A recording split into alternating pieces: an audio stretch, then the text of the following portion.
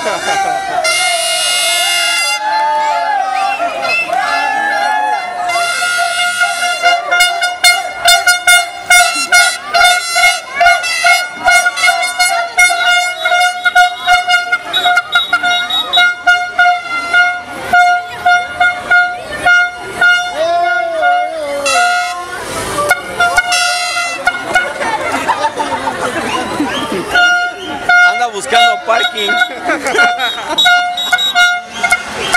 ¿Qué dijiste? Anda buscando parking.